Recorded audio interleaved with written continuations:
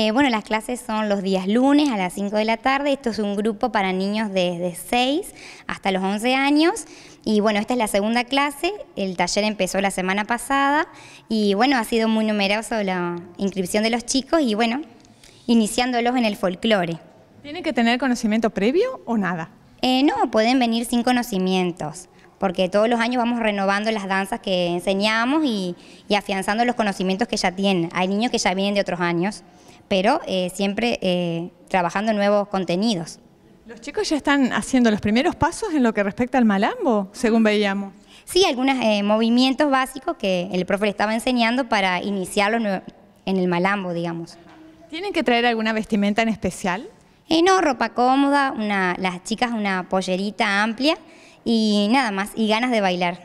Reiteramos los días de clases. Los lunes a las 5 de la tarde, 5 a 6 y media. ¿Se puede sumar algún niño que ahora se entere? Eh, sí, por supuesto, se puede sumar. ¿Es un taller anual?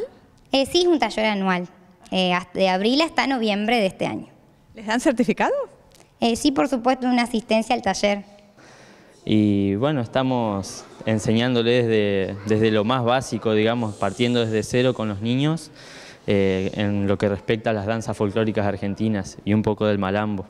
En Casa de la Cultura estamos hace tres años ya, sí. ¿Y hacen la puesta de fin de año en el teatro o dónde?